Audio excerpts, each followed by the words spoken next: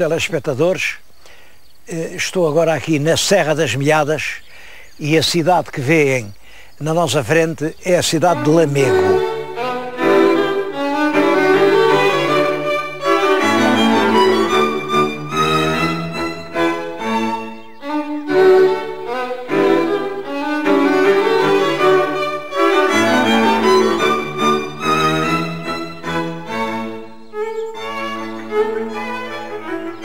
Lamego é a cidade dos palácios. Este alberga hoje um riquíssimo museu. Museu de Lamego. Tem lá peças eh, absolutamente preciosas. Tem, por exemplo, uma coisa única em todo o mundo. É um conjunto de tapeçarias sobre o drama do rei Édipo. As tapeçarias foram feitas na Flandres, pensa-se 1503, 1504, é seguramente no reinado del rei Dom Manuel. E foi o bispo de Lamego que as encomendou na Flandres e que decorou com elas o seu palácio, contando a história de Édipo, por narradores flamengos do Renascimento. Eles fazem do drama do rei Édipo uma festa. O rei de Tebas e a rainha, a rainha Jocasta, iam casar, mas primeiro foram a Delfos e perguntaram-lhe qual ia ser o futuro. E o oráculo disse-lhes: vão casar realmente e vão ter um filho. Mas esse filho assassinará o seu próprio pai e será amante de sua própria mãe. Casaram, como o oráculo tinha dito, nasceu um bebê, a rainha estava radiante, mas o rei não disse nada à rainha, encarregou os seus criados de levarem o garoto para a serra e de o deixarem ali para os lobos o comerem. Os criados, apesar de tudo, tiveram pena e não mataram a criança. Penduraram-na por umas correias lá numa árvore. Só que, entretanto, passa por ali um pastor, vê o menino pendurado na árvore, tira-o, o menino sobreviveu e quando o pastor se apresenta ao rei de Corinto, diz-lhe, olhe, além das ovelhas, traga-lhe um menino, um menino que ia no monte. O rei de Corinto e a rainha, que eram muito boas pessoas, ficaram encantados com aquele presente e criaram-no como se ele fosse realmente filho deles. O menino chamava-se Édipo, Édipo quer dizer pés inchados. O Édipo adorava o rei de Corinto e a rainha de Corinto, que julgava que eram os seus pais. Mas a certa altura também foi ao oráculo. E o oráculo disse-lhe: Tu, Édipo, matarás o teu próprio pai e serás amante da tua mãe. Que horror! O Édipo amava o pai e a mãe, então fazer crimes desses? Não. Aí despede-se do pai e da mãe e diz: Olha, eu não quero ficar aqui mais tempo. E foi-se embora. Até que chegou à encruzilhada dos quatro caminhos. E quando estava na encruzilhada, vem lá um homem arrogante e enxota o Édipo para a estrada, dá-lhe uma chicotada para passar. E o Édipo, que era um homem valente, disse: Que história é essa? E agarra só ao tipo que lhe deu a chicotada e, e atravessa-o com uma lança. Quando entra em Tebas, está tudo muito desgostoso porque mataram o rei. Não se sabe quem. Há lá uma esfinge e ninguém entrava na cidade sem responder às perguntas das esfinge. As esfinge faziam umas perguntas tão difíceis, tão difíceis, ninguém era capaz de responder. E se não respondia, a esfinge matava a pessoa. O Édipo chegou à esfinge, a esfinge fez as suas perguntas, o Édipo respondeu corretamente, ele entrou na cidade e foi tão festejado pelo povo que casou com a rainha. Começaram a acontecer coisas terríveis em Tebas. Morriam os rebanhos, os frutos apodreciam nas árvores, as crianças morriam nos ventres das mães, as fontes deixaram de deitar água, parecia que a morte ia estrangular a cidade de Tebas. É claro que o Édipo chamou um adivinho célebre e perguntou-lhe o que é que se passa. E o adivinho disse-lhe: é que existe em Tebas um homem que assassinou o seu pai e dorme na cama com a sua própria mãe. É um crime horrível. Enquanto isso não for castigado, a maldição continua sobre Tebas. Bom, o rei Édipo fez tudo para descobrirem quem era esse criminoso e, a certa altura, descobriu-se, era ele próprio. A história termina dramaticamente. A rainha Jocasta, quando sabe isto, enforca-se num cinto que o próprio Édipo lhe tinha oferecido. O Édipo ouve o grito de agonia dela, corre ao palácio e com o bico da fivela arranca os seus próprios olhos e termina a história com Édipo rei, cego e mendigo, a caminhar pelas ruas da Grécia a maldizer o seu destino.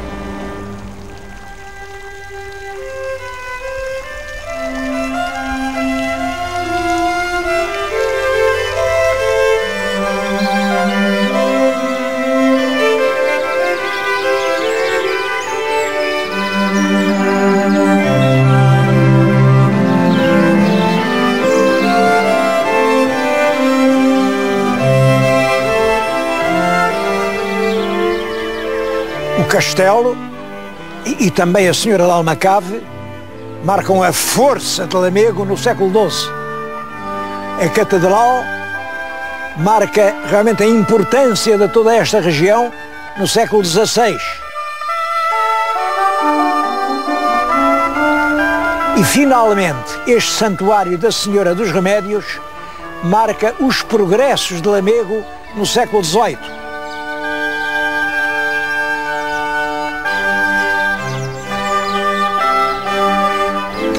Senhora dos Remédios é ainda hoje uma grande peregrinação aqui em todo o Ribadouro. E é uma coisa bonita, pouca gente sabe. Porque é que se chama Senhora dos Remédios? A explicação é esta. Havia aqui uma pequena ermida com uma Nossa Senhora do Leite, a senhora que amamentava um menino. Ora, era costume em Portugal, quando um menino tinha dores, quando estava doente, por exemplo, dores de ouvidos, e a mãe deitava uma gota do seu leite na parte que doía e o menino sentia uns grandes alívios. Como aqui havia uma imagem vinda da Itália, uma imagem italiana, da senhora do leite, as pessoas que tinham algum problema vinham cá a ver se o leite da senhora os aliviava. E foi assim que esta Nossa Senhora do Leite passou a chamar-se Senhora dos Remédios, porque ela remedeia tudo. E a senhora hoje é um grande santuário. Esta fachada é das coisas barrocas mais bonitas do nosso século XVIII. Ela começou a ser feita em 1750 e vai até 61. O século XVIII é um período de um grande desenvolvimento aqui na região de Lamego. Bom, e as esmolas do povo permitem construir este santuário, porventura, o mais belo monumento do Ribadouro do século XVIII.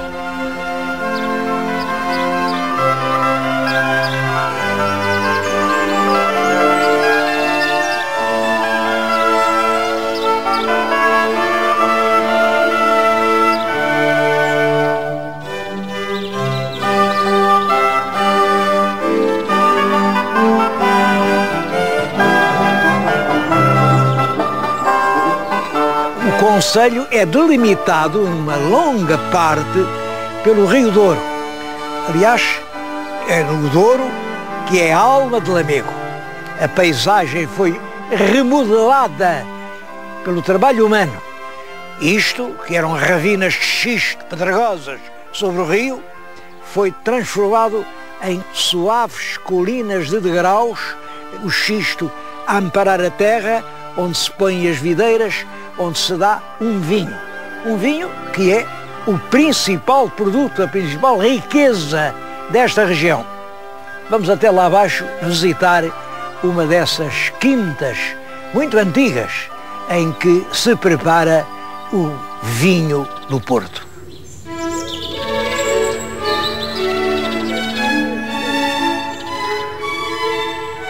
Na altura das guerras entre os liberais e absolutistas, há uma mulher, Mariana Pacheco Pereira, que toma posição de um dos lados, arranja uma guerrilha e com a sua guerrilha fortificava-se aqui e deu muito que fazer. Não sei se era liberal, se era isso não interessa nada. É uma caudilha nessa guerra civil. E tornou-se célebre e a, a quinta onde ela estava chamavam só a Quinta da Pacheca. Ainda hoje fabricam um vinho delicioso que é apenas uma das pequenas parcelas da imensa produção de vinho aqui da região do Douro. Isto produz por ano da ordem dos 80 milhões de litros. Bom, é uma das grandes riquezas do país. Infelizmente, começa-se no mundo a beber outras coisas, a beber menos vinho. Portugal não ganha nada com isso, mas é claro, contra isso nós não podemos nada.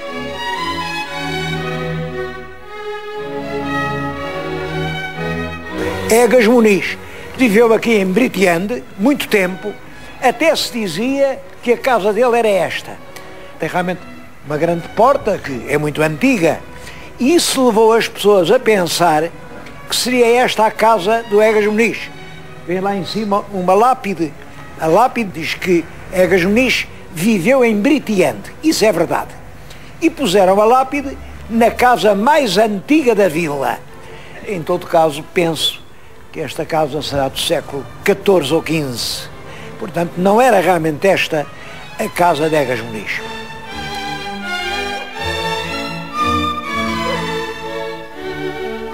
Sabe-se hoje onde era a verdadeira residência de Egas Muniz.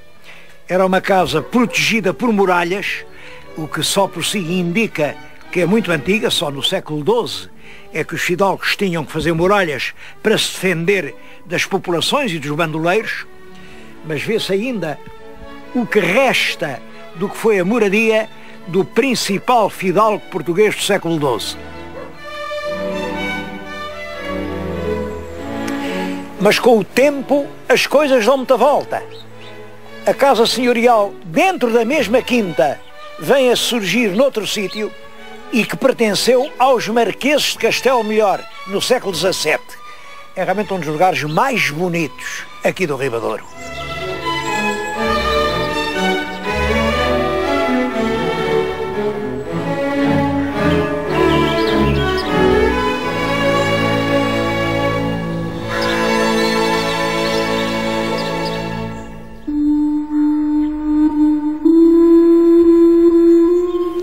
Vou-lhes contar uma lenda. Diz que Egas Muniz era um fidalgo importante quando soube que a Condessa Dona Teresa estava para ter um menino, foi ter com o pai, que era o Conde Dom Henrique, e disse, ó oh, Conde, quando a Condessa tiver um menino, seja menino, seja menina, quero ser eu a criá-lo. E o Conde Dom Henrique disse-lhe, está bem, tu é que vais criar o nosso filho. A criança nasceu, o Egas Muniz foi logo lá buscá-lo, mas o conde disse, ó oh, Dom Egas Muniz, olha, infelizmente, o menino, coitadinho, é tolhido das pernas. Este menino nunca poderá montar a cavalo, portanto nunca vai ser um homem, nem vale a pena criá-lo.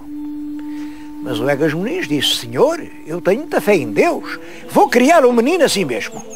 É claro que essa lenda do Dom Afonso Henriques nascer com as pernas tolhidas pode ter algum fundo de verdade. O nosso grande Dom Afonso Henriques, quando nasceu, pelo menos aos olhos do povo português, tinha dois defeitos. Imaginem que a mãe era espanhola e o pai era francês. Quer dizer, naquele menino não havia nada de português. E quem é que lhe tirou esse defeito da ascendência estrangeira? É o Aio Egas Muniz quem faz daquele menino, filho de dois estrangeiros, o valente cavaleiro que veio a ser rei de Portugal. Ele é que fundou a vila de Britiande, talvez sobre as ruínas de uma antiga vila romana, fez a igreja e esta pia batismal. É uma coisa românica, talvez do século XII. Portanto, é muito possível que seja a própria pia que Egas Muniz pôs aqui e é também muito possível que alguns dos muitos filhos de Egas Muniz aqui tenham recebido as águas do batismo.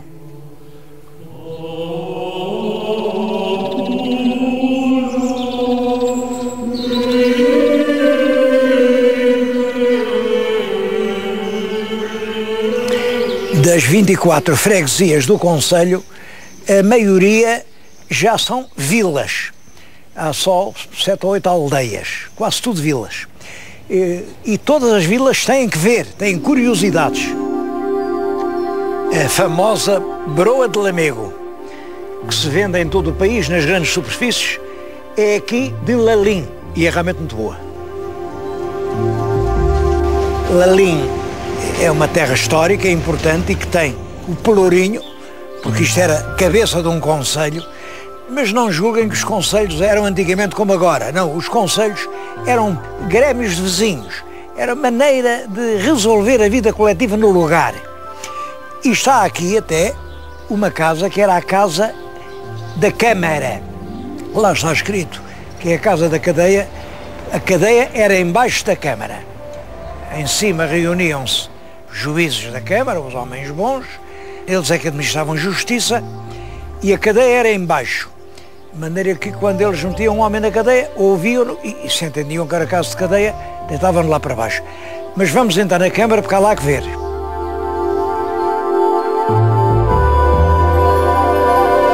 Por iniciativa da Junta de Freguesia, estão aqui representadas as figuras mais importantes da história de Ladim.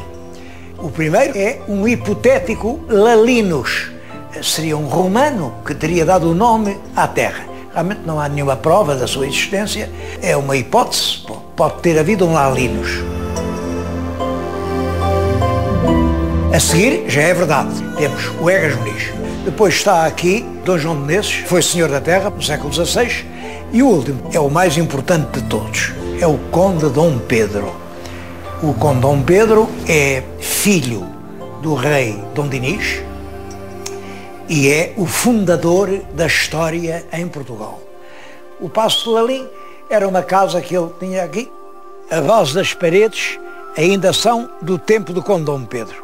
É claro, depois a casa foi habitada, os novos moradores precisaram de lhe dar algum conforto, acrescentaram-lhe um andar e hoje ninguém dirá que aqui viveu alguém que foi uma das maiores figuras da história medieval de Portugal.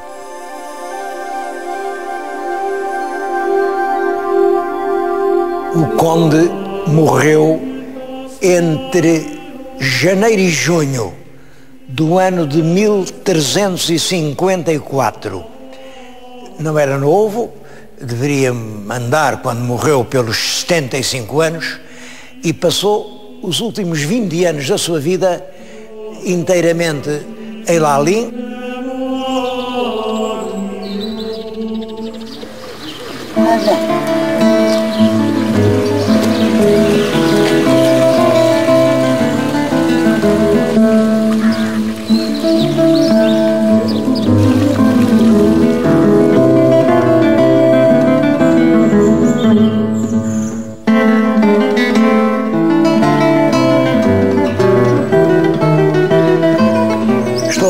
Diante do portão do antigo Barão de Lazarim e o que é famoso em Lazarim é o entrudo, festa pagã, que corresponde à antiga festa dos rapazes e em que se dizem os testamentos.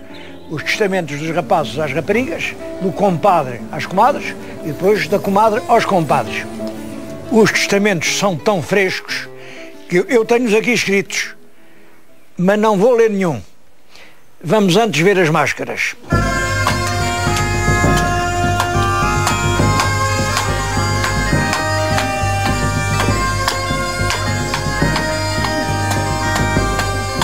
Entrudo, rapazes e raparigas usam as caretas.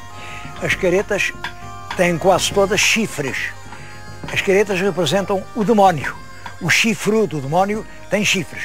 E isto é o demónio à solta que anda no intrudo. É o que quer dizer estas máscaras, que aliás são algumas extremamente interessantes.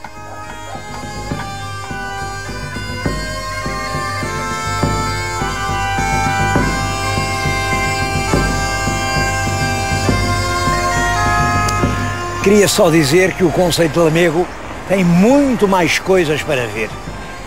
A bem dizer, em cada freguesia há uma curiosidade, uma tradição, uma história pitoresca para contar, um costume, um palácio antigo, uma rua pitoresca. é das regiões mais características do país. Agora vem o verão, eh, o senhor telespectador venha ver com os seus olhos. No verão há tempo para tudo. Eh, faço este convite. Venham até Lamego ver o Portugal antigo.